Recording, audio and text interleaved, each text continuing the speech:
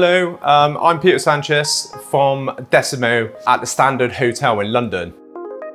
And we've been nominated for Best Interior and Best Breakthrough at the GQ Food and Drink Awards. I'm here at the moment in Casamia, what's in Bristol. So what I've been up to since lockdown, I've had a baby.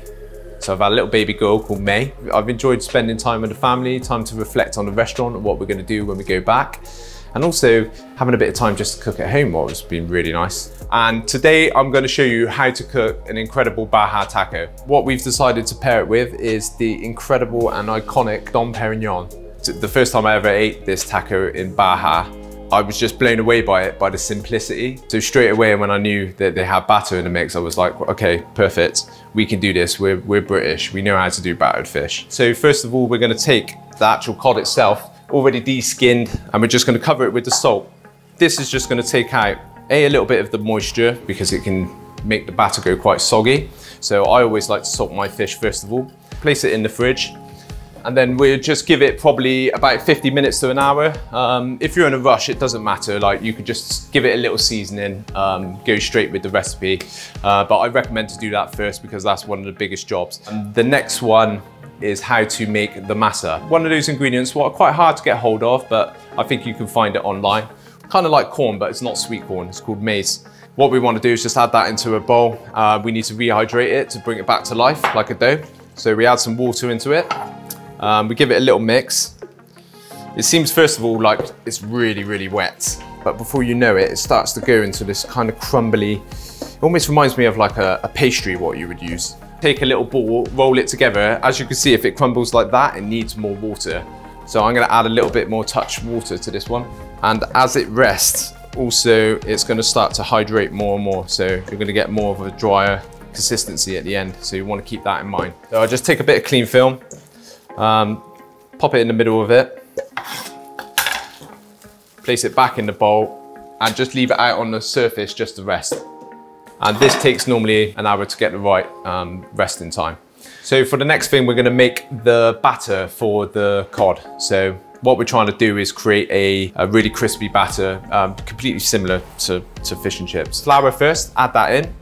Um, you wanna use a pinch of dried yeast really is just there to help crispen the, the batter and make it extra crispy. The next thing is some beer, uh, important ingredient, a good, good Spanish beer or a British beer if you can get hold of it. So this is about pouring about 125 grams in. Um, and then we're gonna crack an egg, but we're only gonna use the egg white. And then you just wanna pour the egg white straight into the bowl and we wanna start giving it just a little bit mixed. So if you ever see that it's a little bit dry, your flour is a little bit different, to me, the consistency should be um, a little bit thickish, but not too thin. Just add a touch more beer to it. And just finish it with a little pinch of salt.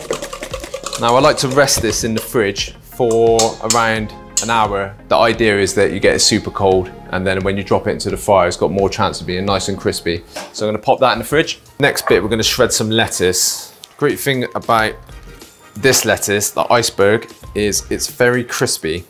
Um, so it just helps enhance the crispiness. So just shred it down into layers like this, what kind of look a little bit of a mess. And then I just roll it up, but not too much. You don't really want to break it in too many places. Trim off the end and then just go into little shreds like so.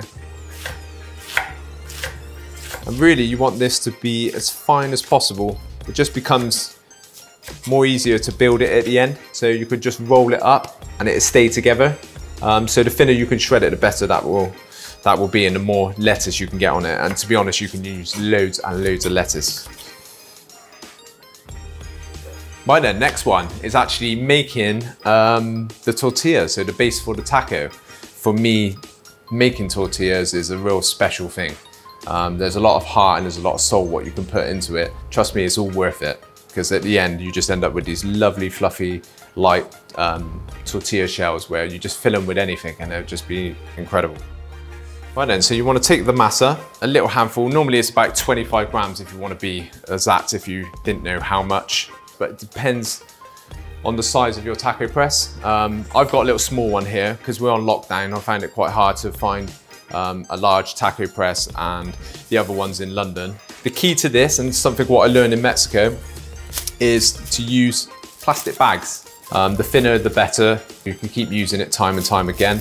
But you want to take kind of like, cut yourself two big squares, enough to fit over the actual taco press. You just roll that into a little ball.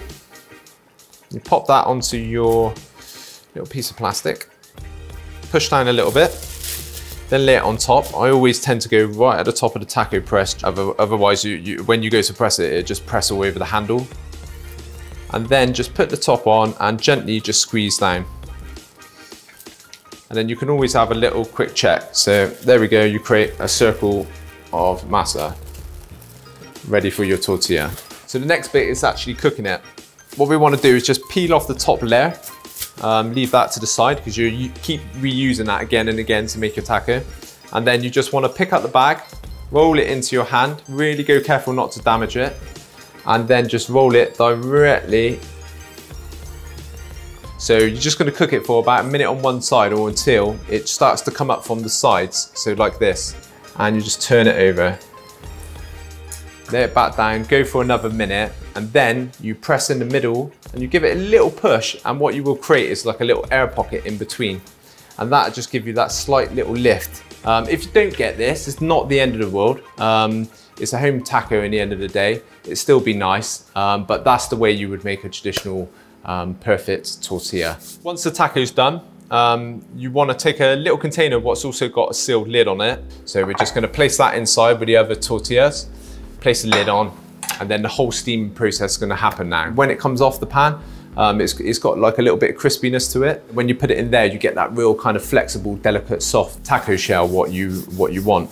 Uh, so next step, take out the fish, what you salted earlier, um, now what you want to do is just place it into a bowl of water. It's just cold water, just allow it to sit there for about two to three minutes, um, just to remove some of that salt. Just remove the fish, place it onto a paper towel or a cloth, just to really kind of drain out the first bit of water, and then place it onto another plate with some paper, and just let that rest by the side for two seconds.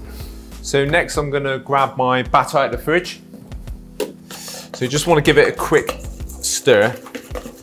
Take your fish, unwrap it. As you can see, it's quite lovely and dry now. You want to cut it into just like little portions. So honestly, it doesn't need to be perfect. You're gonna know when the fish is cooked by the color of the, the, the batter when you're actually cooking it. Uh, once it's nice and golden, you always know the fish is cooked inside. Get yourself a plate, grab some flour, and then give it a little seasoning. So you wanna be, wanna be quite plentiful with the salt the most important thing sometimes if people forget at home is to go quite heavy on the seasoning. Um, that's why normally restaurant food, sometimes flavors and everything tastes that a little bit stronger because we've, we've added that little bit extra seasoning. So don't be too shy. Pepper into that, slight little mix. And then just coat your fish into it. The frying part of the fish. Um, I always kind of work in a system, so we've got the fish there, the batter here, the fire there, and make sure it's at that 190. If you don't have a deep fat fryer, don't worry too much. Um, grab yourself a pan, fill it up with some oil, test the temperature if you can with a probe. If you don't have a probe, then just little bits of batter. If it starts to just go, sit, starts to sit on the top and bubbling, then you know you're at that good temperature. So what I wanna do is just go straight into the batter, get a nice coating. This is the messy part. Little tap on the side like you were going to do a traditional fish and chip. Give it a little swirl and drop. So what you want to do is just give this a little stir as well as the fish is cooking, um, just so you're evenly browning the outside of the fish because it has a tendency to just want to float to the top and without turning it, it will just brown one side and then the other side will be raw. These kind of take around about yeah, five minutes, six minutes. Really, you're just looking for a really golden brown outside. All right then, so as you can see, now it's starting to get that lovely, lovely deep golden color, all nice and crispy. That's exactly what we're looking for. All right then, so we're at the final stage of building the taco. So we're gonna take our tortilla, we're gonna take a little touch of mayonnaise. Um, so this could be a store-bought one. Um, it don't need to be um, homemade. Uh, we wanna put a little bit of the tomato, so you want to use your hands for this. You don't want to worry too much. We're going to put a little bit of jalapenos. Then we're going to go with the fish. So the beautiful crispy fish. We're going to go with a touch more mayonnaise. And you're just gonna spread it across the top like so. And then from there, you take the shredded lettuce, what we have, and we really, really try to create some height on top. Tacos can be quite flat, so what I love about these is they're like quite high. So when you get it in front of you, you're like, wow. And then finishing it off with mayo. So this is mayo going into a piping bag, um, and it's a bit chefy, but if I don't show you, then you're not gonna get the full uh, Decimo experience. So we basically pipe over the top of this, and this helps for when we're carrying it as well. So it almost like gives it a bit of stability. And to be honest, it looks quite cool. Finish it with a little dash of smoked pimenton on top. So this is like the Spanish kind of like red pepper, smoky paprika. And we're gonna go with a little touch of salt on top as well. A little bit of lime by the side. So I just recommend that to squeeze over the top um, just before you're about to eat it. So here we have the Baja Taco from Decimo at the Standard Hotel in London. And what we've decided to pair it with is the incredible and iconic champagne called Dom Perignon. And for me, the, the kind of fattiness of the batter and the fish, the acidity in the champagne, the way it cuts through it, together they actually make such a perfect, perfect combination. Who would ever thought champagne and tacos would go together, but it really, really, really does. Honestly, you've got to try it. Oh. Here we go. I forget how good this is. I miss this.